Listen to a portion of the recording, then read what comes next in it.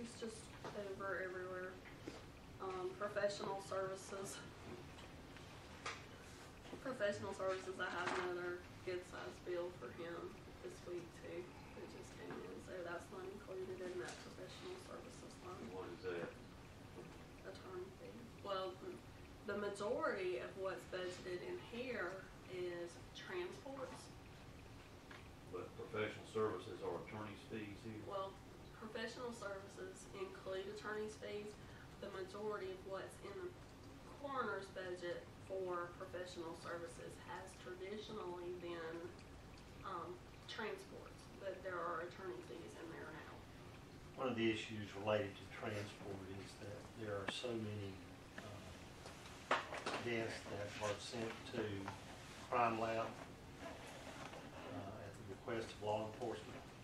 And there is a obvious tran, uh, charge for transportation of the body to and from.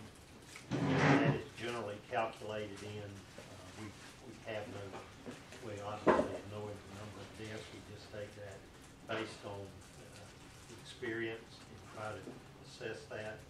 Uh, And then, of course, we have no idea of knowing how much, uh, how many cases might result in requiring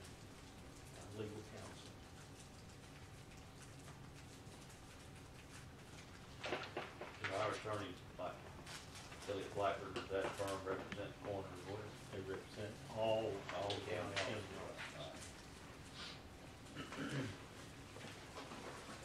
And the next few just have, uh,